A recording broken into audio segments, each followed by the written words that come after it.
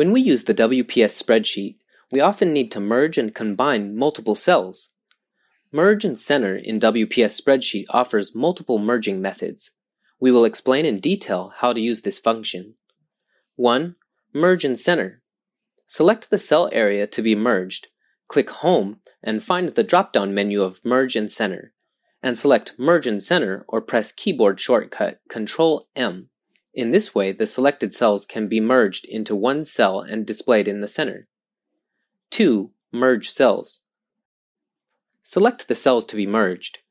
Click on the drop-down menu of Merge and Center and select Merge Cells.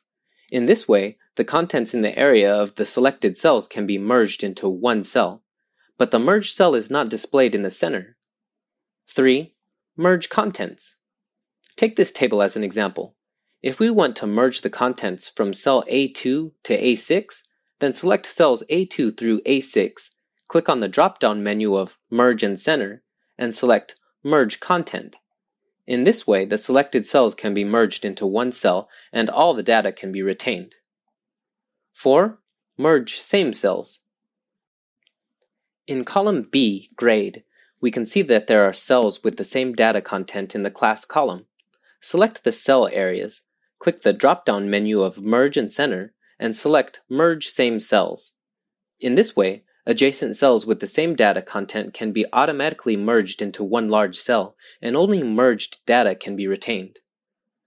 5. Merge across. In this example, we want to merge attendance of athletes by row.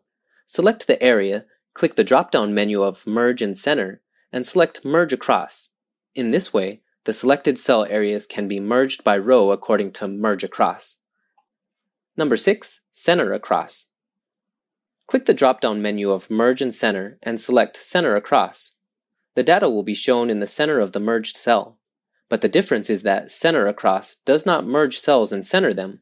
Instead, the display is centered across columns while preserving the cells. How can we unmerge cells? In this spreadsheet, select the cells to be unmerged. Click the drop-down menu of Merge and Center, and then select Unmerge Cells. If we want to fill the same content in every split cell, select the merged cells, click the drop-down menu of Merge and Center, and select Unmerge and Fill. Every split cell has no border and its alignment is inconsistent. To solve this, click the Center button in the function area, then click the drop-down menu of Other Borders. Here you can set the borders of the cells. Choose All Borders to add borders for all selected cells.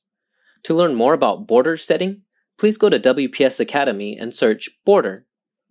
In Merge Settings, you can set a default value for merge cells as your preferences. Do you get it?